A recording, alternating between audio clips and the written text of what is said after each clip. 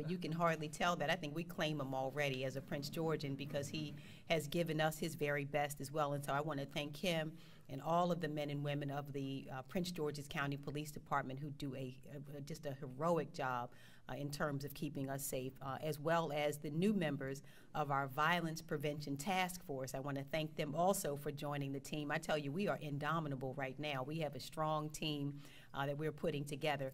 Uh, I also want to thank two of my really great friends. Uh, one has been a friend for a very long time, and every time I call him, I have worried this man to death. Um, it was if it was state's attorney's office, he showed up for us. He's shown up for us over and over again here as I've been county executive, and that is Reverend Tony Lee uh, from the Community of Hope AME Church. And so I want to thank him so much for being here. Uh, Barry Stanton, who is our chief uh, deputy chief administrative officer uh, for public safety, want to thank him. Uh, likewise, he's been here months long back in this position, but he's done a beautiful job. So I want to thank him also for his leadership, as well as my good friend, and she's in the back. We're in her beautiful uh, venue here today, and I think it's just gorgeous. And so I want to thank Brooke Kidd from Creative Suitland and Joe's Movement Emporium. Uh, Brooke has also been on the front lines uh, for, for really a very, very long time uh, working with our young people. And I want to thank her also for uh, opening up today and for being a wonderful part uh, of our efforts today. Now, I want to cover our Hope in Action project, uh, provide details on the Hope Collective, as well as congratulate the members of the Violence Prevention Task Force. Uh, afterwards, I will hand things over to Reverend Lee and Police Chief Aziz, who will give you additional updates um, regarding the work that we are preparing to do. Um, but first, I have an urgent plea. And I want to make this plea for all the parents of Prince Georgians, uh, of our children in Prince George's County. And I say so as a parent of a teenager. And so I, I recognize what is required in this moment. I'm going to ask all the parents of children, the children of Prince George's County, to do me a personal favor and sit down with your children. Put them at a table. If, you, if you're like me, I get all of the tea that I need in the car with my daughter. She doesn't even recognize the, what we're doing. We get in the car to ride, I hear everything I need to know about my daughter, about what concerns her, about what her thoughts are on various issues. And so I'm asking the parents of Prince George's County's children to please, ma'am, please, sir, do me a favor, the family members, sit these kids down and ask them what is going on. Don't miss the chance to, uh, to connect with your child and ask them what they're seeing, what they feel, what their hopes are, what their concerns are, what their fears are. Find out whether there is something that we can do more as a community that we have not done to address the concerns that they have. Ask them what is going on, whether they're scared or stressed out. Ask why. Why they believe what we're seeing is happening. And I believe that we'll get some solutions that we have not yet heard. It is important to talk to our children. We need to come together to better understand what is going on with the children of our community. And when we ask, I want us to also do do me a favor and listen. Listen. Please let's listen to our children we want to reverse what we see as a troubling trend. Uh, it's an uptick that we've seen in violence, but I, I know as well as everybody gathered in this room that the government cannot flip a switch and make it happen. So for anyone who's under any illusion that somehow the government can cure this, I want to just disavow you of that thought right now. This can't be solved just by the government. We're here and we're going to put the full force of the government behind this issue, but I recognize without parents and family members and community leaders, there is very little that we can do to turn this around without them. And so, again, speaking as a parent, let's get to our children. Let's get back to where we were. Let's sit at the table, do whatever you have to do, ride in the car. I even walked around the neighborhood. My daughter didn't recognize I was going, Would you like to take a walk with me? And I got all in her business during the walk. And I'm going to urge all of these parents to do the same thing. We have got to get into our children's business. It is critical. Now, reducing violent crime will require us all to work together. And again, while government cannot do it alone, we are taking every possible step forward to solve the issue, to protect our residents, and to protect our community. And our county is responding to this rise in violent crime through a coordinated effort across government, one that enlists local nonprofits to help stem the tide of violence while also working with the police department on effective solutions to track, deter, and solve violent crimes. Today, I want to talk about our work to stop violent crimes before they start. One important step that we're taking to meet this goal is the Hope in Action Anti-Violence Project. And again, I want to thank Pastor Lee uh, for bringing us this uh, project. Uh, this is something that he uh, wanted us to replicate. He first noticed it, that it was having some uh, success in California and brought it here. And uh, we launched in late October this program here, and it helps us to prevent violent crime through a focus on interrupting cycles of violence with targeted care. The program uses four strategies to reduce gun violence. We're working with peacekeepers to prevent violence before it can start. Uh, we're, work, we're also using a strategy which combines diversion and reentry services, which offers first time and recurring non adjudicated youth offenders assistance with the state's attorney's office. Uh, that's through the existing Urban Youth Pretrial Diversion Academy. We're using community and school based wraparound services as well to offer after school enrichment programs, assistance with food insecurity, case management services, and access to in school peer support groups. And our fourth strategy is the Violence Prevention Task Force. And today I'm proud to announce that we have appointed 20 individuals to the Violence Prevention Task Force. Uh, each of them comes from across Prince George's County uh, which helps this task force have an inclusive perspective. Our Violence Prevention Task Force members come from all walks of life as well, ranging from community activists, there are teachers, veterans, and even parents of gun violence victims uh, who are a part of this task force. This group will meet and identify areas of critical need where we need more resources and will work on a plan to ensure that we get resources into the most critical parts of our community. They will also work to develop short and long term strategies to reduce violence in our communities. I'm looking forward to all of the ideas and recommendations that this outstanding group of community representatives will put together, and I believe that their work will create innovative solutions and strategies uh, to help us effectively combat violent crime in our community. In addition to the work of our Violence Prevention Task Force, we are also proud to partner with a group of nonprofits in our community who work to address issues like health care access, poverty, housing, and a number of other urgent problems that our residents uh, face. The county is providing grant funding to a group of nonprofit partners that we are calling the Hope Collective. Together, these nonprofit entities, entities will help us provide targeted, wraparound services into communities that need them most. I'm honored to work with these 16 grantee organizations on solutions that help our residents and provide a path away from violence for our young people. This grant program represents a critical component of our Hope in Action anti-violence project, and with these grant funds, our Hope Collective will be able to expand the reach of their work, maximizing their impact. Centro de Apoyo Familiar will be able to provide essential services and resources related to food, housing, healthcare, and jobs. The Training Source, Inc., will help provide further job readiness, uh, job training, job placement, uh, assistance for young people. Jacob's Ladder will have the funding they need to continue providing juvenile reentry services, diversion services, and other programs which enrich the lives of our teens. And Joe's Movement Emporium, whose space we're in today, uh, will expand their Create Teens program that aims to address mental health issues among teenagers, creating a safe space for developing social and creative skills. This is just a small sample of the projects that these amazing 16 nonprofits will be able to execute now that they have received the grant funding. To, together, this Hope Collective will help create a brighter future for our community.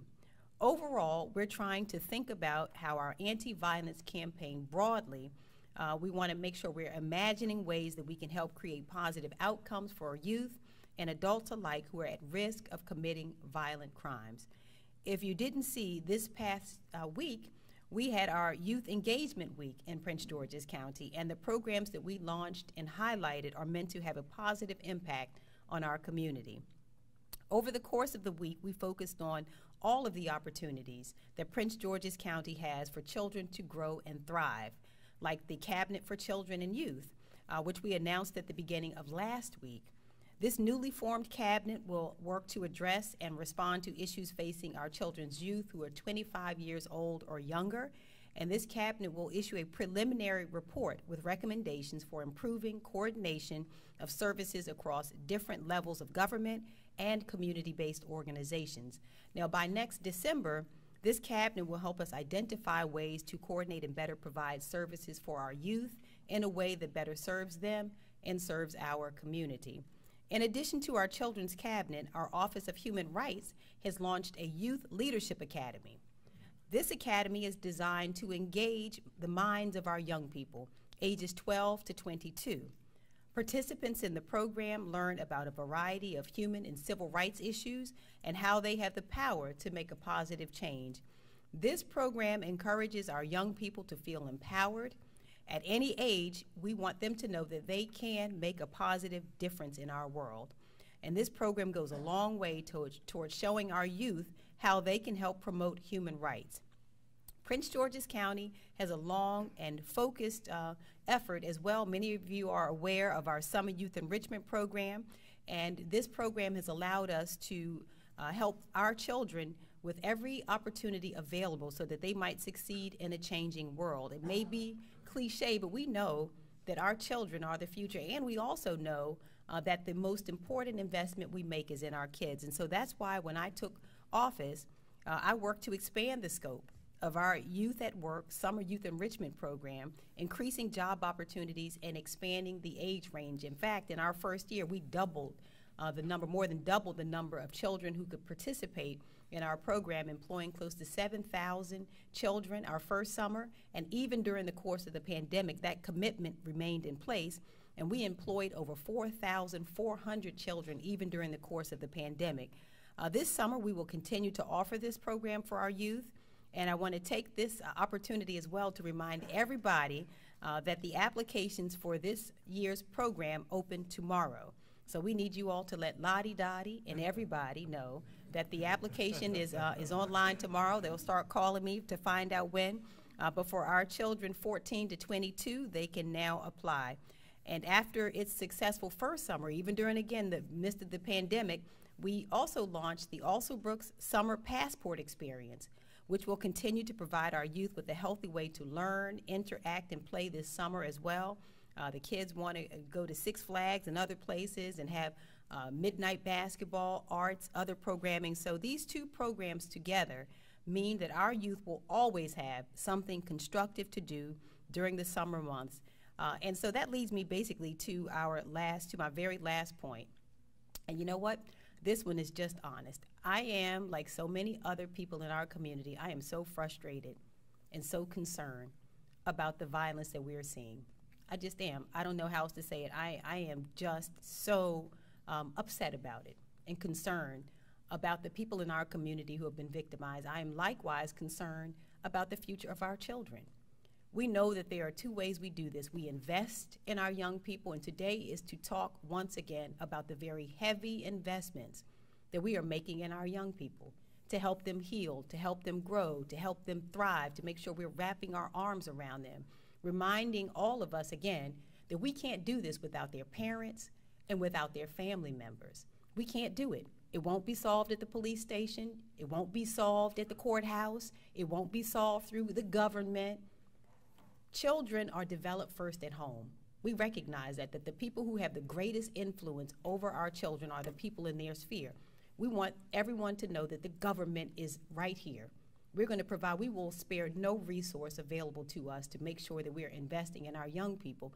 And as I pass it off to our police chief, I also want the people of this community to know that I take their safety and their freedom to heart. That likewise, just as, as our children have a right to be free and to thrive, so do, so do their parents and grandparents and aunts and all of the rest of us have a right to live in a place that is free. So I do want to be abundantly clear that we're making the investment now and we know that some of our young people have to be held accountable. That's all there is to it. Is we're going to provide the resources to heal and we're also urging that our young people must be held accountable, the ones who are committing acts of violence. We're not going to turn a blind eye to it. We got to do both. And so that's, that's the other uh, po- point that you've heard it here today, that that's what this is about. We're going to put everything we have into our young people to heal them and to help them thrive. And for those who are, are determined to harm, to, to scare, um, and to hurt our community, we also, I'm asking and demanding that they also be held accountable. So I'm going to hold, I'm going to hand this over now uh, to Chief Aziz. And again, thank you so much to all of you. I look forward to the work that we're going to continue doing together. Thank you. First, uh, well, good morning, I should say, still, still morning. Uh, I'd like to start by thanking our leader, uh, the venerated county executive, Miss Angela Alsobrooks, the executive leadership team of Prince George's County, and uh, the DCAO, Mr. Stanton, uh, for their leadership, uh, as well as the Office of Community First out of Prince George's County PD, and the Office of Community Relations in our county, as well as our law enforcement uh, partners uh, and personnel. We've come together to address this very important issue, which we all agree is affecting the very fabric of what makes Prince George's County so great. It's our communities. We are very excited about these initiatives and even more so about what we hope our collaboration with the collective will yield as we work together to provide these services to our communities, youth, and their families. At the end of the day, it's about diversifying our approach and ensuring we do everything we can, not only to combat crime, but to uplift and empower our children and to unify our community. We're proudly working with Reverend Tony Lee of the Community of Hope AME Church as partners in Hope in Action Anti-Violence Project. In Prince George's County Police, we have a number of initiatives we're undertaking to reach our youth. Our Youth Roundtable discussion is an event designed to allow our youth to engage in an honest and open conversation with members of the police department and our community leaders. This event will allow youth to ask questions directly about an array of topics, including their interactions with law enforcement, and express the very real concerns that they may have. It's a discussion that seeks to put our youth at the very center of the conversation by offering them re- a real seat at the table where they can make their voices heard. And we are listening. Our nationally recognized Police Athletic Activities League will be partnering with the Boys and Girls Club of Greater Washington to provide our youth with more targeted programs and high yield activities that will enhance and encourage positive youth development. This partnership will focus on three priority outcomes for our youth academic success, good character and citizenship, and healthy lifestyle choices. We also honored to partner with the Cal Ripken Senior Foundation in the, the breaking ground of our new Ripken baseball field that is located on our property at Landover Division 3 Patrol Station in Palmer Park. It is the first of its kind and is located at a police facility in the country, the first of its kind located in a police facility in our country, which is groundbreaking here for Prince George's County. We have crime fighting initiatives in place that are focused upon addressing the rise in violent crime, youth offenders, carjackings, and stolen vehicles. And we are committed to working with other partners in this criminal justice system and protecting victims' rights and making sure the best interests in our hearts for our youth and those who may offend. Sometimes this means providing services and oversight, oversight to youth offenders in facilities that provide meaningful outcomes, providing both access and opportunity to our youth and their families, giving access and opportunities to youth uh, and their families. Our past initiatives, like Operation Resolution, which is a winter crime initiative in Prince George's County, resulted in a 30% crime reduction in our six focus areas. Since January 2021, we've taken 1,650 weapons, guns off our streets, 1,399 in 2021 alone. We also conducted warrant sweeps as recent as last week, arresting 30 violent crime offenders. And yet we know this isn't enough, that we need a holistic, wraparound approach. Our officers are hard at work around the clock fighting crime and engaging and building relationships with our residential and business communities, such as Pastor Lee and Hope in Action.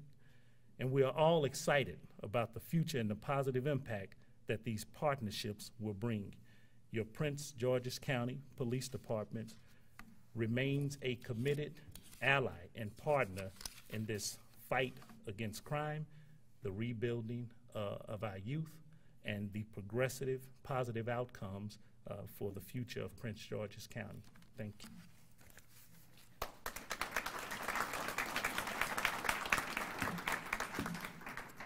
Now, I know this is a press conference, but as a pastor, I feel like saying, let the church say amen.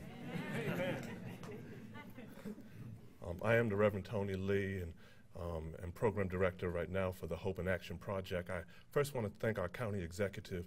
Uh, county Executive Alsobrooks, you have been a faithful partner in this community um, as state's attorney and now as county executive. And I am grateful um, that you did not just come with talking points, but you came with resources. Um, and that is what is so important. We cannot deal with this problem reactively but proactively. Um, and in order to do it, we need the resources to do it. And so I want to thank you, thank your team that has been so excellent. I want to thank our chief, Chief Aziz, um, who um, I met you on your third day in town. Um, on his third day in town, um, he came and we met in this parking lot right here in Suitland, and we talked about the issues and the needs of community. Um, and as we got to know each other, um, we started talking about models. We started talking about models uh, to be able to do some systemic work in community to address violence. And I talked about a model I had seen um, and knew some folks who had run in Oakland, California. Um, I've been doing this kind of work for about wow, I'm not going to tell y'all how long because it's a, a few decades now, um, but it will date myself. Um, but there was a model, an evidence-based model in Oakland that has seen great uh, success, and so we talked about it, and he said, hey, Reverend, put together something for me, let's look at it. And I appreciate you, sir, uh, because you could have come in, um, and it's easy um, to just try to um, lock your way up, lock your, lock your way out of this situation. But the reality is you can't arrest our way out of this situation. And so I'm grateful for your perspective. Um, and so therefore the Hope in Action Project was born. Um, it is a faith, a for-profit, nonprofit, and government collaboration. Um, we're grateful to for-profit Team Gov. Our brother Costello Wilson, the CEO, is here. Uh, the nonprofit Dreams Work, and of course, county government. Uh, I do want to thank Director Unisha Davis um, of the, the um, Office of Community Relations for her incredible work um, in helping us to walk along this journey. And we have three legs to this stool. We've got three legs to this stool. One leg um, is um, our violence interrupters. Those are people who will be embedded in community. We have been able to utilize information um, from the police department to identify communities where we are seeing the most violence, whether it is being perpetrated or victims, and we want to make sure to be able to really drill down and offer resources and services in those communities. Our violence interrupters are people who will be hired, who are hired um, to embed in communities. They're hired to embed in communities so that they can be able to be our ear to the streets. They can be able to be working with folks so that when um, um, issues are bubbling up, they can help to intervene, help to bring truces, help to bring conflict res resolution. They'll also be in our schools and with our young people and offering services there. And I'm grateful for Ms. Joanna Hardy is the director of our violence interrupters. And so Ms. Hardy, who's right here in front of us, we're so grateful for her as we are hiring and bringing that team on right now. The second leg uh, to this stool um, is our Hope Collective. And we are just, my gosh, so excited about 16 community organizations who are already doing the work. And what our hope was is to develop an ecosystem of people, of organizations that are doing the work that can develop synergies one with another, collaborate one with another as we target areas and issues uh, to be able to do this work. And we are excited if you, and, and you'll be able to see uh, just much of the great work and, uh, um, that these organizations are doing. And so we are excited to bring these organizations together as we together uh, attempt to address the issues in community. And the third leg to the stool um, that will help it stand up is our violent, anti-violence task, our violence prevention task force. And these are people uh, from the grassroots to the grass tops. These are people um, from all walks of society in Prince George's County who have a heart to be able uh, to end the violence in the county and in the region, who are taking of their time and their energy uh, to help us to strategize, to organize, and to mobilize. And so we are grateful uh, for them as well. And, and so as I close, I just want to say this. We can do this, but we have to do it together. There's no way that we can do this in our individual silos. There's no way the police department can do it by themselves. There's no way the county executive's office can do it by themselves. But we have to come together, government, faith community, business community, nonprofit community, and we can have an impact on our community. I believe it in my heart. Um, I believe it in my soul that we can stem the tide of the violence that is plaguing our communities. But the only way we can do it is what? Together. We have to do this together. And if you do your part and you do your part and you do your part and you do your part and we do our part, our community will be better and lives will be saved and generations will be able to accomplish all that they are called to accomplish because in this season and in this moment, we decided to do it. What? Together. Thank you so much.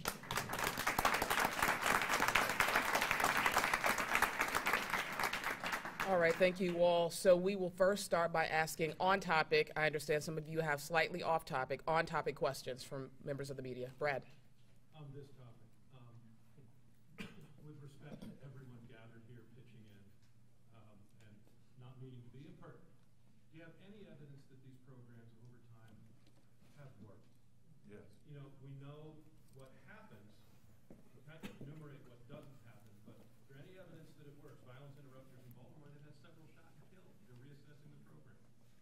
And, and, and so what I would share with you is the model we're using is not just violence interrupters, but I talked about the various prongs or the various legs of the stool. The, the model in Oakland is an evidence-based model that has worked. And it has all of the evaluation, et cetera, to talk about the success they have had in Oakland. It's still going on in Oakland right now. I was just with their team um, about a month ago. Um, and so um, we can share with you some of that um, information, some of the evidence, but that is a model um, that has shown success. And I also want to add to what um, Pastor Lee said is to remember that there are multiple prongs to the approach that we are suggesting today. So Hope in Action is a part of it, but remember there's also the investment we continue to make in the Summer Youth Enrichment Program. There's the Children's Cabinet. Uh, there's the plan through the Human uh, Relations Commission. So we it is multi-pronged. We recognize that this problem is complex and that it requires a complex solution. And so it is what Pastor Tony Lee is bringing, but it is a multi-pronged uh, and it is a funded approach toward addressing the violence. Not just one area, there are multiple, uh, we're using multiple weapons, in other words, um, to address it. But we've stood in these positions so many times, you and I, talking about these various programs, and yet the numbers just keep going up. Well, you know what? We have stood in this place multiple times. We've been successful also. I feel as optimistic as Pastor Tony Lee feels because when I came to office uh, in 2010, we saw crime in a particular place. And Pastor Lee, we joined with uh, with uh, Barry Stanton at the time. A number of us came together, and we were able to see a 50% reduction in crime over those years. And how did it happen? It happened because we made investments uh, through programs, uh, you know, like the um, we replicated um, back on track. we, we replicated back on track. I belong here. Remember that we also did teen court, but we also held people accountable.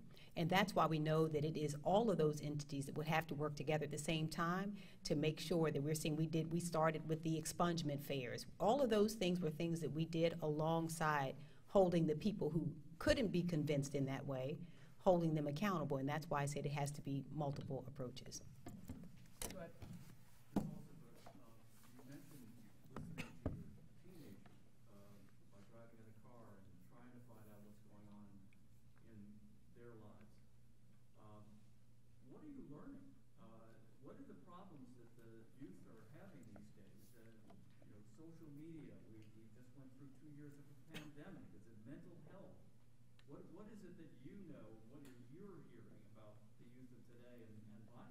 That's such a great question, and I can tell you, I have learned a lot through my daughter's eyes, um, especially over the last two years. She's close to 17, and so I think she reflects the concerns of this entire generation. Our children are under extreme pressure, and many of them are operating almost under duress.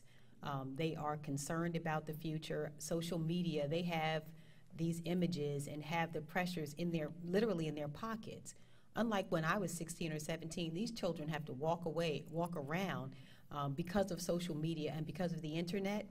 They're exposed to things 24 hours a, a day virtually that concern them. The violence, they're not immune to it. They recognize that it is happening. They are concerned about uh, all that they are seeing around them, and they deal with these pressures 24 hours a day. And this is where they are. Many of them are depressed. Uh, a lot of them suffer from anxiety, and they're seeking ways to cope. And I think social media has also prevented our children from developing the interpersonal skills that we were forced to develop as young people because we had to talk to each other. We had to stand on the playground or stand out in the neighborhood and converse with each other. When you do so through Snapchat, Instagram, or whatever it is they communicate, it to me it deprives them of the opportunity to develop the skills that we had to develop uh, in terms of interpersonal skills, in terms of conflict resolution. So all of those things are hampered by social media, and so that's the reason I'm saying we got to get in their face again. I can't talk to my daughter through social media. I have to have her in the car, and I do so every single day. I drive my daughter to school every single day so that I can hear what is going on. If it means I have to get up first thing in the morning to do so, that's what we have to do. It means if you sit down in the evening, find some space, and every parent can't drive their child to school, I get this. But if you sit down some point in the evening or invite them someplace to ride to the store with you, but I am just convinced that when we hear from them, we will better understand what they are suffering and what they're concerned about and come up with better solutions. Okay, we can ask off-topic questions. Chief, what can you tell us about a couple of uh, things? Um, Any lead on this gentleman, seventy-one-year-old Lyft driver? Brad, you couldn't wait to get into this, could you? What was undone? about the Lyft driver uh, and what in what we released uh, so far. Uh, first of all, I, you know, when you bring up the Lyft driver, my uh, thoughts and prayers are extended uh, to Abdul uh, Khan and his family for such a tragic and horrific, you know, incident that happened here in Prince George's County. we do know that it, it emanated from the district. Uh, and ended uh, uh, in Prince George's County. and our investigators, you've heard me say this from time to time, Prince George's County and Prince George's County Police Department, you should be very proud of the men and women who are investigators there, that they, they work tirelessly in these efforts to bring justice to victims' families for that victim who is no longer with us. And we're working some, we're doing a, a diligent duty uh, and working some really promising uh, leads right now uh, to bring bring that uh, investigation uh, to a close and justice for the family. So right now, other than what we uh, have released, we have some things that we're working on, and we should be able to get those things up here relatively soon. Another carjacking? Is that what you think this was? Well, I, I wouldn't right now. I wouldn't say that because we're still under investigations. What we what we do know is a fare originated in D.C. with uh, some occupants that uh, ended with the death uh, of Mr. Khan in Prince George's County. Uh, the facts surrounding that uh, remains open for us. We're we're examining, investigating all avenues to what that actually was. Again, we're working those investigative tips. We have some leads. Paul? Chief, you, you said it began in the district. Do you know where in the district it began? Uh, a fare uh, was originated from the district for that driver to make a pickup from that from that location. Uh, somebody up in the district. uh, we're pretty sure of that that something occurred. Well, we don't know all that right now. You know, you want to, I think you'll be a good candidate to join Prince George's County PD Investigative Unit. Um, you want to, you want to, we're, you know, well, we're speculating, you know, and so uh, whether we are finding if that was a, a pickup or something occurred in the district or did it occur in Prince George's County, we're, we're working through those things right now. MGM? What we do know is uh, some uh, action took place in MGM. Uh, a fire alarm uh, was triggered in some kind of way, uh, whether that was uh, intentionally or not. And during the fire alarm, where people exit rather rapidly, then someone set off what we are pretty sure of, of fireworks. And fireworks sound very closely related to gunshots.